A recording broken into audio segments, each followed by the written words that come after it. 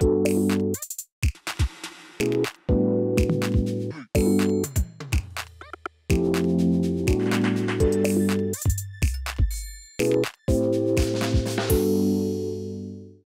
1、2番がちょっと売れてない。で、クリーンアップはもう3番と5番がいないっていう状況なんで、まさしく打線がどんどこじゃないですか。はい、中西清樹の虎の穴チャンネルということで、横浜戦振り返っていきたいと思います。はい。ということで、交流戦明けて3連戦を3立てという形で負けてしまったわけなんですけど、この3試合見ていかがでしたか、完全に状態のいい DNA、そしてどん底のタイガースという、もう本当にチーム状況が現れた3試合だったと思いますね。特に打線で言うとね、もう横浜活発な打線ですし、タイガースは逆にクリーンアップ3番、5番っていうところが開幕からいたメンバーがいなかったっていうところでも1番、2番、そして8番っていうところにも当たりが止まってきてるっていうところで、非常に好対象の DNA との対戦だったと思いますけどもね。じゃあ早速1試合1試合見ていけたらなと思うんですけれども、1試合目1対3で負けた試合、この試合はまあビーズリー投手が先発だったんですけど、ビーズリー投手はいかがでしたか？まあもう3回までで降板してるっていうところなんで、この大事な3年生のところ、頭で未知数のピッチャー、ビーズリーが先輩に立てた、その意図ってどこにあるのかなっていう感じはしますけどもね。うん。だからまあ、岡田監督、首脳陣からすると、言うても70試合っていう折り返しの半分のところもまだまだゲーム数来てないわけですから、そういう意味では勝負どころはまだ先だって読んでのビーズリーだったのかなっていう感じはしますけどもね。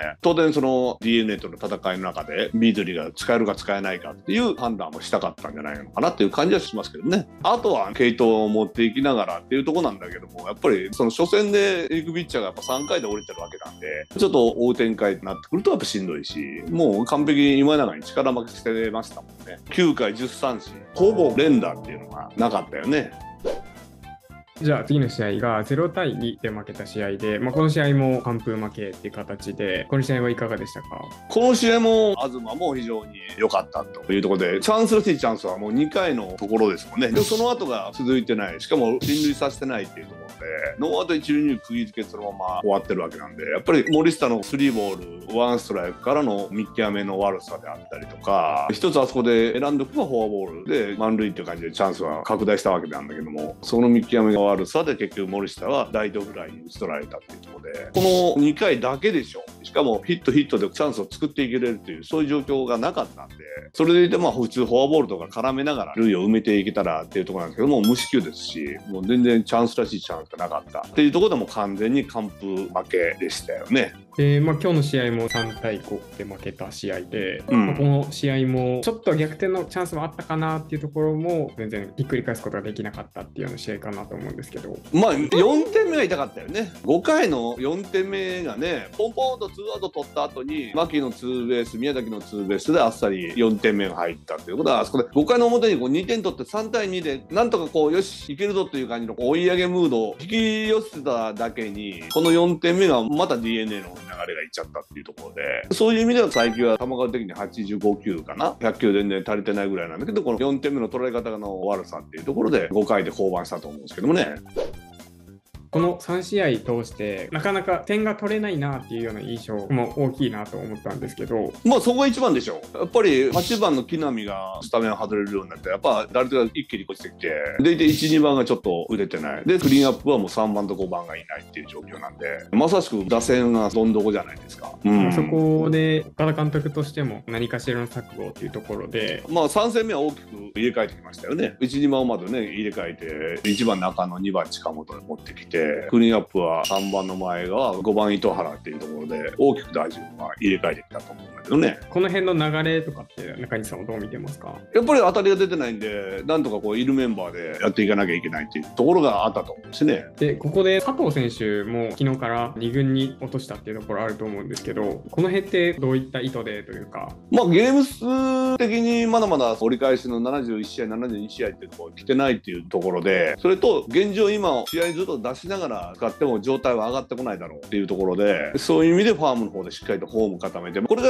90試合、100試合っていう消化であったら落とせる時期ではないんだけどね。だからそういう意味で磯川回るじゃないけども、きっちりとファームの方でフォーム固めして上げてこいというところで、それまでは我慢しなきゃいけないという時期だと踏んだんじゃないですかね。実際中西さん的には佐藤選手の2軍落とすっていうところは結構理解できるっていう形になりますか？あの上で置いててもそうは打てないんで、まあ、そういう意味でだから5番として任せられない打順だから打順を下げて状態が上がってっていうんであればクリーンアップ打つその資格はないっていうところになってくるんで。それで言うとクリーンアップを同じく打っていたノイジー選手ノイジーもねそう。まあもともとこのバッターはホームランバッターじゃないんで中距離バッターで外野の間を抜いていくっていうそういうところのバッターなんだけどその辺のコンスタントに1本2本っていうところがなかなか出れてないよね。だから三振も多いですし率もなかなか上がってこないっていうところで状態的には悪いですよね。佐藤選手は2軍に落とすに対して野市選手は1軍で控えでっていうところはあると思うんです、ここの扱いの差っていうのはどういう意図を感じられますか？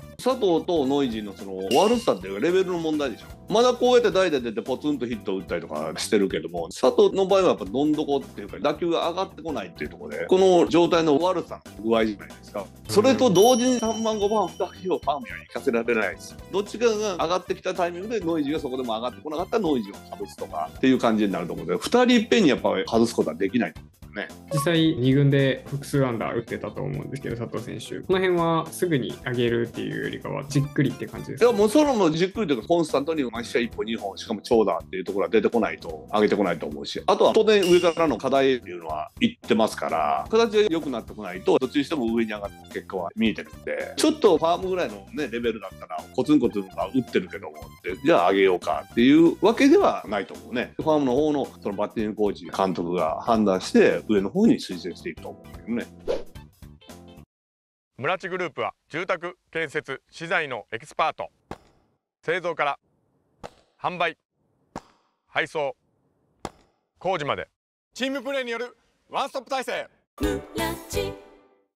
まあ、交流戦も終わって、スタメンっていうところが固定だったものが若干動き始めている部分はあると思うんですけど、この辺に関して岡田監督っていうのはどういう考え方で動かしてるような感じになるんですか？基本は固定でゲームの中でもそんなに代打とか代走とか送るそういうタイプの監督じゃないんだけどもね。現状打線として繋がってこないんでもうやっぱ動かざるを得ないっていうところなんでしょうね今。だからいるメンバーでまあなんと状態のいい選手を使っていこうっていうところでまあそういうゲームが何試合が続くのかなっていう感じはしますよね。でも絶対シーズンってどのチームも波があるように辛抱のしどころだと思うんでここをやっぱ4月の頃を思い出してピッチャーが最小失点に抑えながらロースコアで拾っていけばまた打線も上がってくると思うしずっと悪くならないです。必ずアップダウンあるんで、まあ、まずチームのコンディションですよね全員のね。打線もそうだけどやっぱあとはリリーフ陣も整備していかなきゃいけないしね。やっぱりクローザーの湯浅がいないっていうのが一番大きいんでポイントになってくるのはこの佐藤輝とやっぱ湯浅がしっかり復調して一時でも早くね一軍の戦力として本来の力を発揮できてくれば非常に状態は良くなってくると思いますまずこの2人じゃないですかポイントはねでまあまあエースの青柳もねまだまだ下におるわけですから開幕ピッチャーが、まあ、この辺がやっぱ上がってきて上の方で戦力になって本来の力を発揮できてくればっていうところじゃないですかね。ということでね、横浜戦、また感じたことを皆さんコメント欄の方によろしくお願いします。そしてチャンネル登録とよろしくお願いします。